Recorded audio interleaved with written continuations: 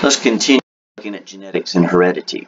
Now remember genetics is all about the study of heredity, the passing of information from one generation to the next.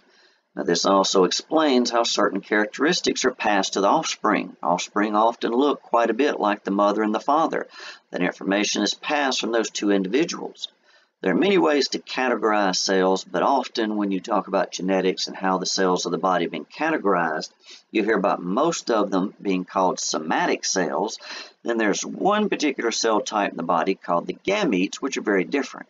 Now the somatic cells are also called diploid cells.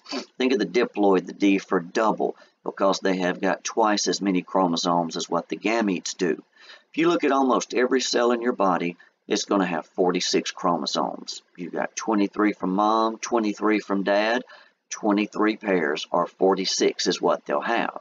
But when you get to the gametes, which are the reproductive cells of the body, they have half that much. So when you hear about haploid cells, think about half as many chromosomes as most cells have. So that would just be 23, again, where other cells of the body are going to have 46 looking at Mendelian genetics, which is named after Gregor Mendel, a monk who got an interest started in all of this here. These are some other terms which you'll always see used with genetics, like genotype and phenotype. Genotype is the actual set of alleles for a trait. In other words, the forms of the genes for something particular in the body, like maybe say eye color phenotype, a person's appearance, think of that as the outward expression of those genes.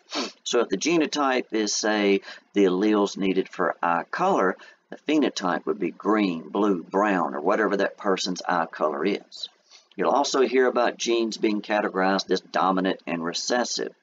Dominant genes are in general the good ones, the ones you do want to see expressed in the body, and they tend to override or mask the effects of recessive genes, which are generally undesirable. You'll also hear about sex-linked traits. These are genes found on the last pair of chromosomes. When you look at that 23rd pair of chromosomes, they come up in practically everybody, XX or XY, unless something went very wrong in the very first parts of development, which is a different story. So that 23rd pair, XX or XY, those are the ones, ones that determine the gender of an individual. XX gives a female, XY will give a male. Some other terms you hear about homozygous and heterozygous. Homozygous means you're having two of the same alleles for a trait. Now if you look down here, you can see that homozygous alleles come up in one of two ways. Homozygous dominant or recessive. Now the dominant genes are always represented by capital letters and the recessive genes by lowercase. So if someone's homozygous dominant, that means they've got two of the dominant genes. That's why you see two of the uppercase A's here. Homozygous recessive, where an individual has two recessive genes. That's why you see two lowercase A's here. Heterozygous is where you have one dominant, one recessive. So that's why here you see one capital letter and one lowercase. And again, looking at chromosomes, genetics is all about the study of heredity. And that DNA, found mostly in the nucleus, but a little bit of it in the mitochondria too, is the instructions for those cells. It tells them how to make proteins and also controls what the cell does. You may have also seen with chromosomes something called a karyotype, which is a map of someone's chromosomes. If you take those 23 pairs of chromosomes and arrange them from large to small, you'll see the biggest ones first, going down to the smaller ones, and then the very last 23rd pair will be those sex chromosomes. Again, they either come up XX or XY, given a female or a male. And there are thousands of genes on each one of those chromosomes. You'll also hear about the diploid and haploid. We saw that once before. Again, almost every cell of the body is diploid. They've got double the set that a haploid does. So almost every cell of your body's got 23 pairs, 46 chromosomes. Haploid, again, half that, 23. And again, the karyotype is actual a visual picture of someone's chromosomes. Now let's also compare mitosis and meiosis. These are two very similar processes, but of course they have some very big exceptions. Now if cells of your body can divide and make more of themselves, Practically all cells of the body go through mitosis. Only the reproductive cells of the body, sperm cells and the oocytes, go through, go through the process of meiosis. Now let's compare these two, mitosis and meiosis. Mitosis, where you always go from one cell to two. Meiosis, notice, is one cell to four. Mitosis will involve one cellular division, and then everything starts over. Meiosis will involve two divisions. Again, with mitosis, all cells of the body except the reproductive cells, if they can divide, will go through mitosis. But again, only the gametes, the reproductive cells, go through meiosis. And mitosis will always pass on 23 pairs, 46 chromosomes to each one of those new cells called daughter cells but meiosis passes half that, 23 chromosomes. Now, if we look over here to the left, let's say we start off with our mother cell, and it starts off in interphase, and it grows, and it makes an extra copy of the DNA. So there will be two complete sets of the DNA. The cell will go through prophase, metaphase, anaphase, and telophase, which remember your stages of mitosis. The cell will divide, passing on a complete set of genetic information. But these two daughter cells will go back into interphase. They'll grow, make an extra copy of the DNA, and the whole thing just keeps on repeating itself. Now, if we come over here and look at meiosis, the mother cell at the top started with interphase and make an extra copy of the DNA. Then it goes through mitosis, just like the cells on the left, passing a complete set of genetic information, just like those in mitosis did. But here's the big difference. After this first cellular division in meiosis, these two new daughter cells skip interphase. If you skip interphase, you skip copying the genetic, genetic information. So these here won't make an extra copy. They'll keep just that one complete set and that's it. And then they'll go through mitosis again. And if you split those cells in half, they will end up with half copies of DNA. So basically with meiosis, you go through two divisions instead of one, and you skip that interphase in between. You skip interphase and don't make an extra copy of the genetic information and split those cells a second time, you're going to pass half copies. And again, that's what the reproductive cells of the body do.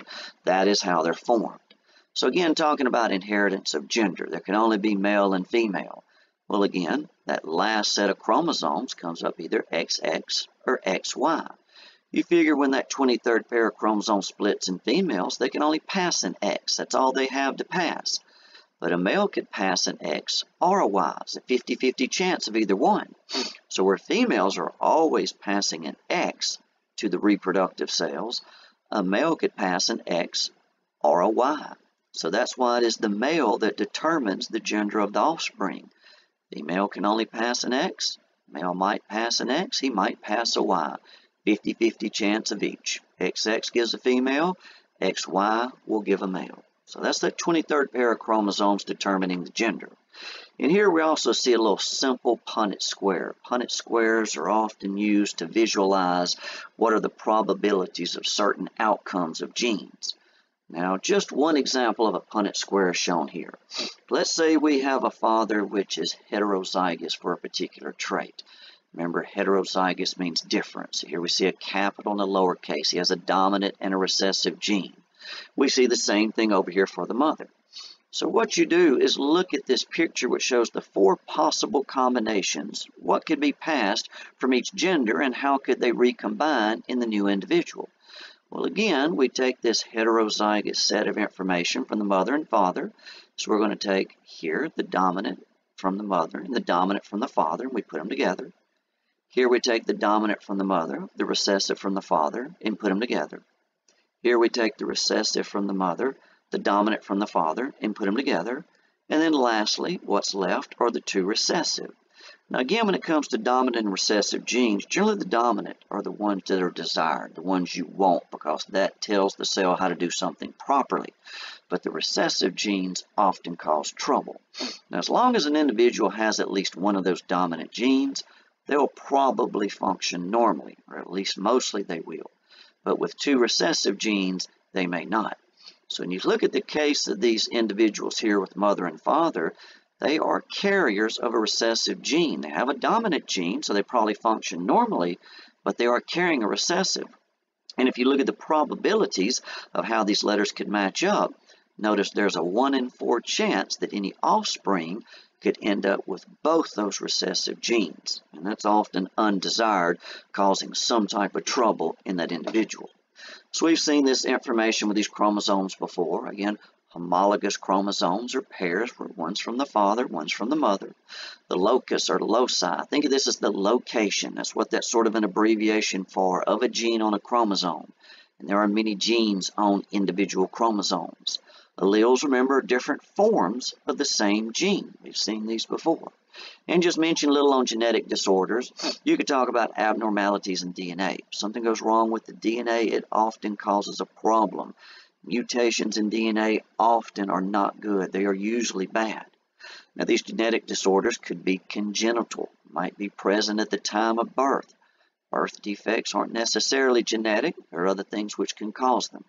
Teratogens are agents that cause birth defects. Many things can, especially foreign chemicals. That's why pregnant females often want to avoid any type of foreign chemical, medications, and so on. Some of those can cause serious birth defects.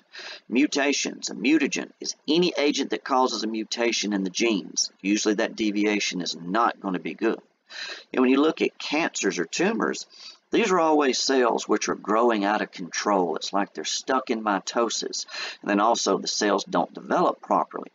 When you look at cancers and some common terms seen with them, oncogenes is one you may have heard of before. These are genes associated with cancers. Many problems we have with individuals today and diseases are from cancer genes. Genes do things other than cause cancers, but cancer always involves a problem with the DNA. Usually something's missing or rearranged. There are also tumor suppressor genes, which help to prevent cancers, carcinogens, or anything which can cause a cancer. And again, there is genetic susceptibility to it. Often a person's genetics can be looked at and possible problems could be identified in the future. Here's some pictures of mitosis once again that was in a previous PowerPoint. A little drawing right here and links to the books.